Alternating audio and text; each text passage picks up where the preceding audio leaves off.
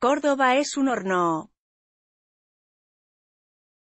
Pasadas las 14,30 de este martes con una temperatura que superó los 37 grados en la capital con más de 40 grados de sensación térmica. Hubo numerosos cortes de luz que afectaron a gran parte de la ciudad y a algunas localidades del interior. Mira más calor extremo y se viene la tormenta. Hay alerta para Córdoba. Un apagón generalizado dejó sin energía eléctrica a una importante zona de Córdoba que EPC aún no había detallado.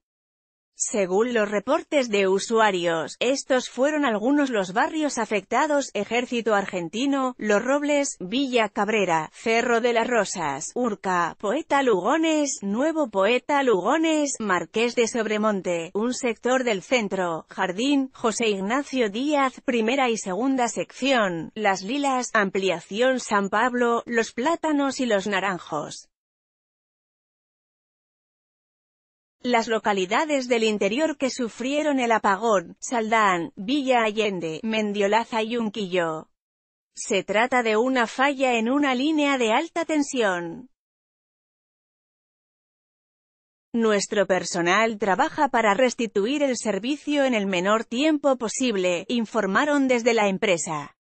Localidades de Villa Allende, Saldán, Mendiolaza y Unquillo en forma parcial flecha hacia derecha restricción de servicio por falla en alta tensión.